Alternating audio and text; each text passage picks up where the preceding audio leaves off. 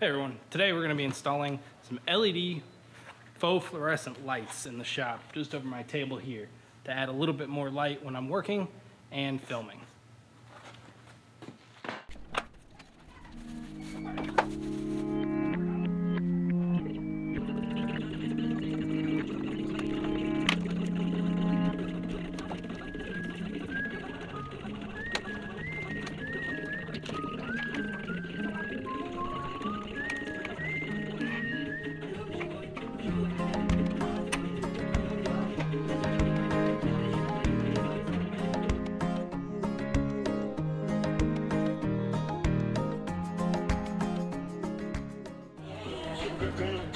Yeah, yeah, yeah, yeah.